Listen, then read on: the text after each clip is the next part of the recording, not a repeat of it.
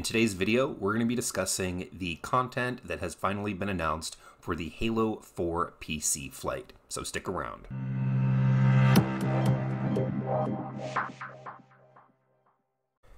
Now, the following information can be found over at halowaypoint.com. The link will be in the description in case you guys want to go ahead and take a look at this for yourself.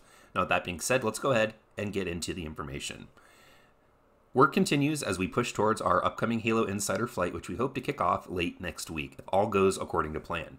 Of course, flighting is flexible and somewhat unpredictable by nature. So, as we continue to work through the Rings 1 and 2 environments, we could encounter blockers that delay the move to Ring 3.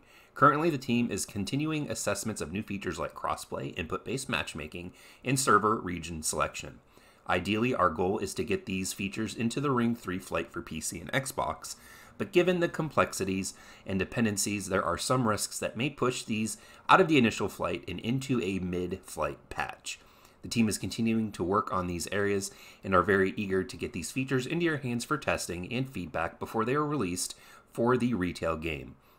We should get better sense of how things are shaping up following more Ring 1 and 2 coverage this weekend. For now, we're still targeting the end of next week to kick off the flight, so please keep your eyes and ears open for the final word next week. Now, currently, as of the recording of this video, it is October 10th. It is a Saturday, so I would be expecting at least by next week at this time, there is a good possibility that we will be playing the Halo 4 flight.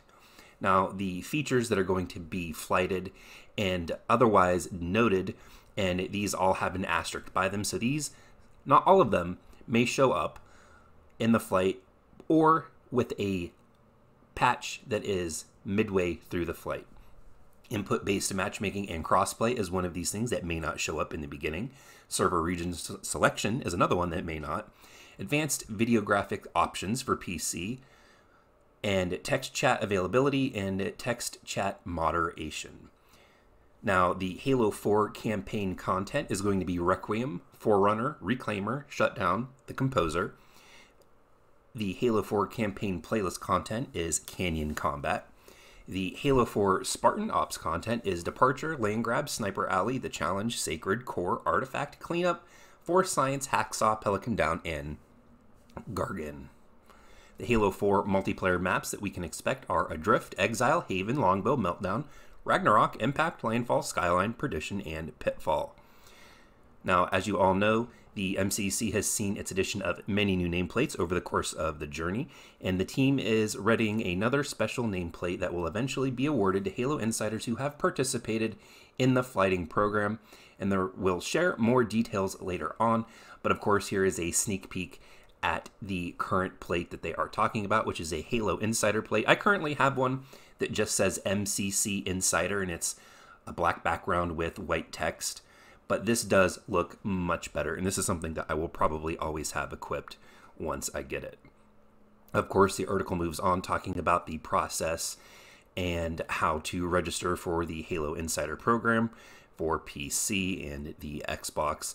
That is, of course, done on the Halo Waypoint site, and they have links all over on their website on how to and where to be able to sign up for this. So if you are interested, again, I definitely recommend that you register. You may not be getting in on the first initial flights.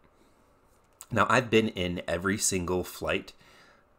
Oddly enough, when it came to the ODST flight, I got in on the Xbox, but it was about almost a week after the flighting had started on PC. And it was the first flight that was available on PC that I actually wasn't invited to. So if you are registered for this and you don't get in right away, then trust me, just go ahead and wait. Chances are you will be invited. But as always, don't forget, in order to be part of the conversation and have your voice heard, hit that subscribe button and leave me a comment in the section down below. If you guys are new around here, go ahead and check out some of the videos on the screen. I upload content weekly. Don't forget to check out the links in the description. I've got my social media, and of course, support for the channel is there as well. But until next time, everyone, I'd like to thank you all for joining me here for this flighting update, and I'll see all of you in the next video.